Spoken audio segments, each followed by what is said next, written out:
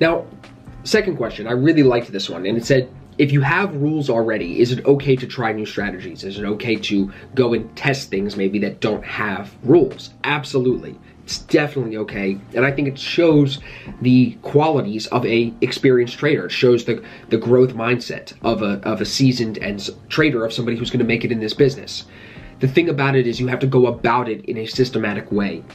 You can't just go test a new idea, test new rules with real money off the jump. I think you need to go through that like three step process we talked about in the webinar last week about igniting and sustaining the process. The first thing is you need to do the back testing, do the research, generate the idea, then test it with a demo account, then test it with small money in a live account before really putting big size into it. And I think those three steps have to be done before you go and say, yeah, here's a new strategy. I'm going to be looking for this every day. For me, I had the A1 system and that was used for a while. Still used every day.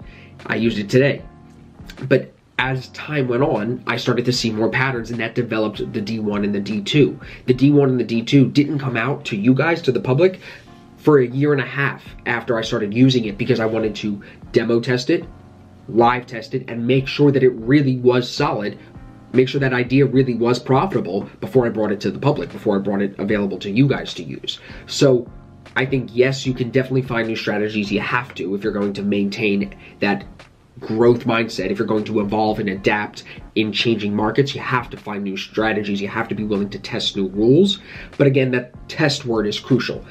Test the idea, test it on demo, test it on live, and then go bigger into it. Once it's proven, don't just think it's gonna work. That's foolish. That's gambling. And that's not what we're trying to do. This is serious business. So, yeah, good question. I love that question. Now,